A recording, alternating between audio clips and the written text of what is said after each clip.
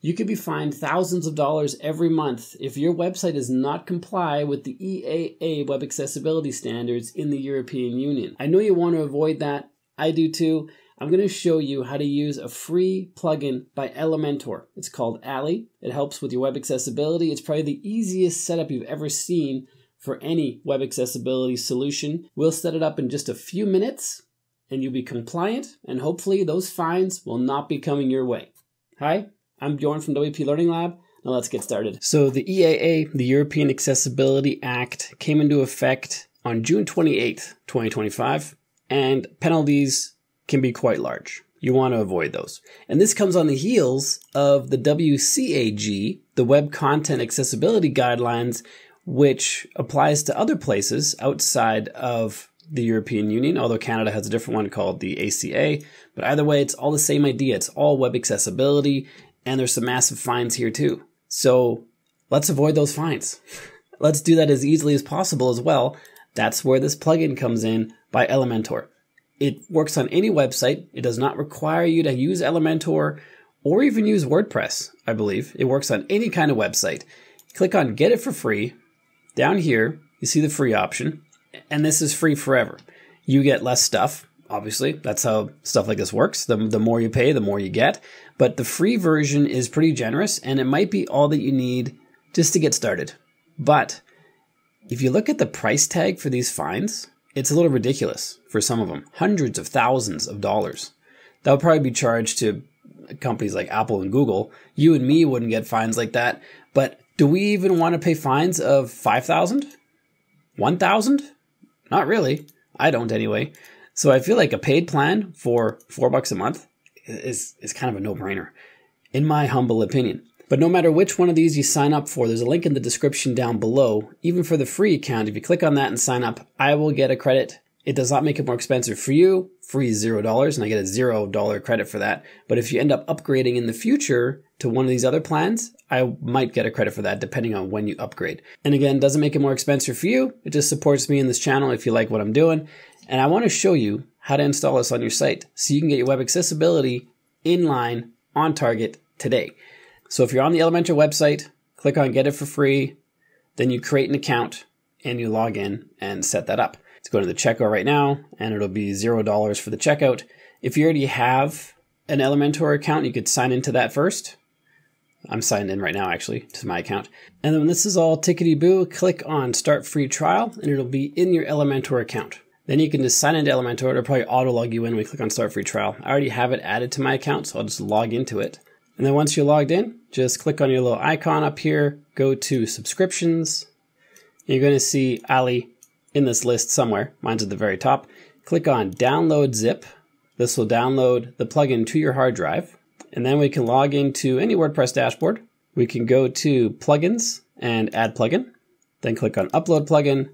Then we drag and drop the file we just downloaded into here or click on choose file to find it on our hard drive. Click on install now and then activate. I already have it installed on this website. So I'm not going to install it again, obviously, but those are the steps. Just click on install now once you have this plugin here and then click on activate and you're ready to rock and roll. So once that is installed, on the left-hand side, we have a new menu item called Ally. When you're installing this for the first time, you'll be connecting this to your Elementor account on this step as well, where you just click a, a link that says connect, just like connecting with the regular Elementor plugin, and it'll connect to Elementor. It'll see you have Ally in your account, and everything will be set up. And then once those two are connected, your website is compliant. If we visit it right now without setting anything up, you will see the Ally icon right here. Click on that and you have all these web compliance options. I'm going to show you what these all mean right now. So back into the dashboard, we can use the scans to see how accessible our website is. We can click on design to choose the look and feel of the widget, this widget that we see in the bottom corner here. We can choose the icon, the size, the shape, the color, we can choose where to show it on desktop and mobile. You can even hide it on desktop or mobile. I don't know why you would. And you can have exact positioning. So if the bottom left corner is pretty close to where you want it, but you want to move it 25 pixels to the right, you can do that by just doing that. Then click on Save Changes to make sure all your changes are saved. We also have compatibilities, which is the list of things the plugin will do. If you have the free plan, you will not have all these options. The paid plan gives you all of them. Any paid plan gives you all these. The free will be a subset of these, but the free plan does a whole lot, and it might be enough for what your website's doing. I'm going to add this one in there. Click on Save Changes. You can choose which ones you want. I don't see why you turn any of them off, to be honest. Just keep them all. And then we have a web accessibility statement. This can be auto-generated. So I click on yes, I need one, or no, I already have one. I'm gonna click on yes, I need one, because I don't have one.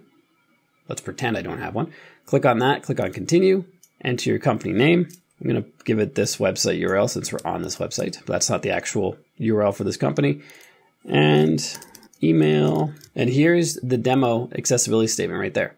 Click on create statement and page, and it creates a page inside of WordPress, and it links it right here and it links it on your widget. So if we go back out to our widget here and we refresh, if we click on that to open it, we see the accessibility statement right there. So now we're compliant already out of the box. We're compliant because a customer or a visitor of your site can come and use any of these options. It's actually quite cool. And in fact, hold on, let me try this. Does it translate? Okay, so it translates the options here, but not the text on the page. I Thought this might be another way to translate all the content on your website. That'd be pretty cool. Let's stay with English because that's the one I can read the best. And as far as the settings go, that's all there is. We have analytics as well, where you can see analytics. This is just a demo site, so there's not much going on. So analytics will always be zero, pretty much for this site. I want to show you, before we do a scan, I want to show you the capabilities and how they work. We have our widget down here. If we scroll down, click on that. If we choose bigger text, it makes the text bigger. Watch this text on the right hand side. I keep clicking it, it gets bigger and bigger.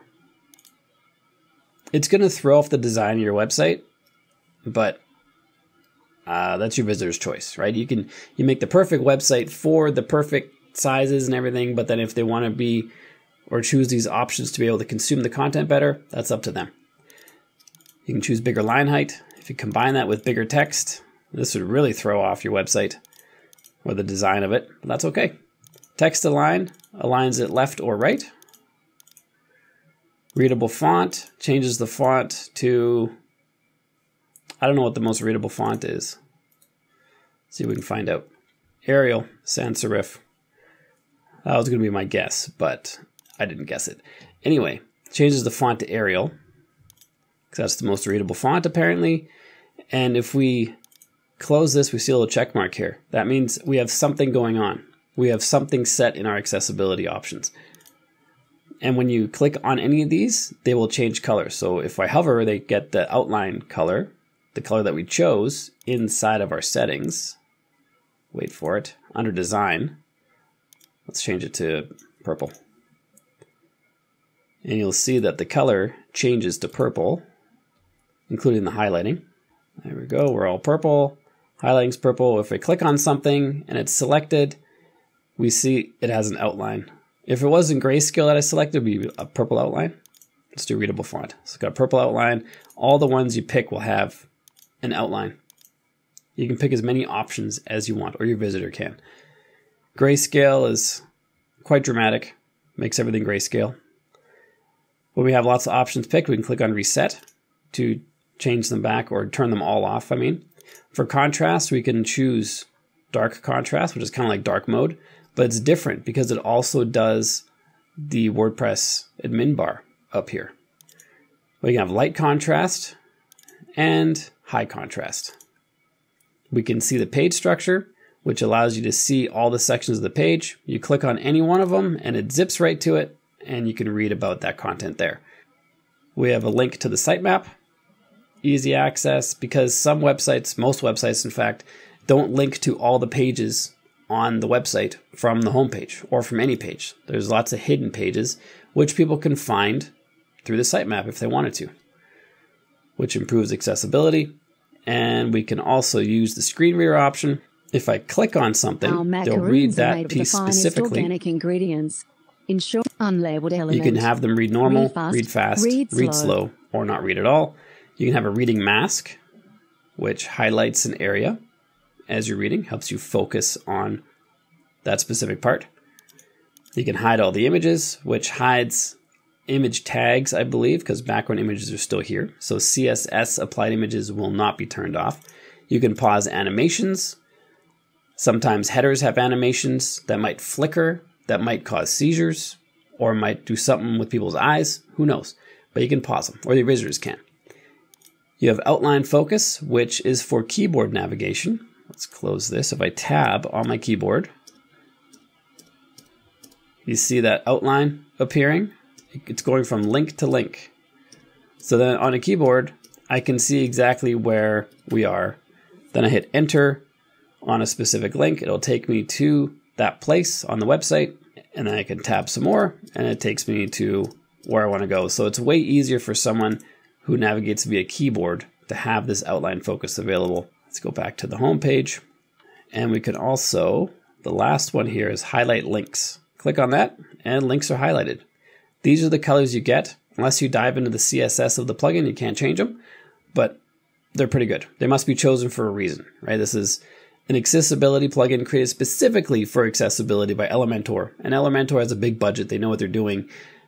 So there must be a reason they chose yellow and orange for these colors. And that's all the accessibility widgets that we have available to us. And again, you can turn them on and off on the capabilities tab super easily. If we go to the scans, it'll scan our homepage.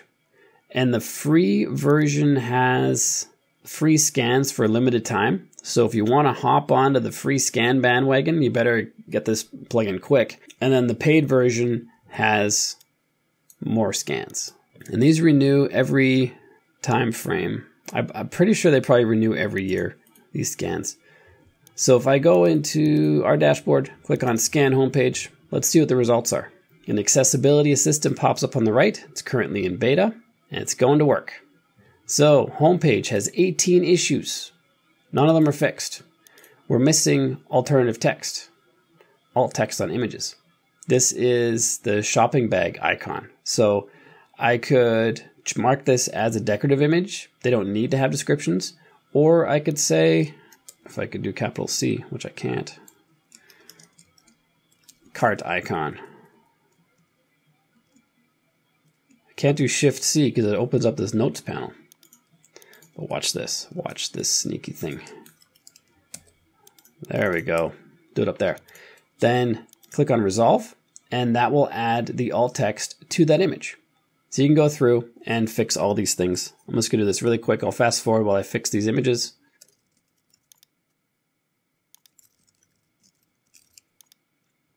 You can also choose to click this icon right here and generate this text with AI. An error occurred. Probably I don't have enough credits to use the AI. But if you do have AI credits, we can do this even faster.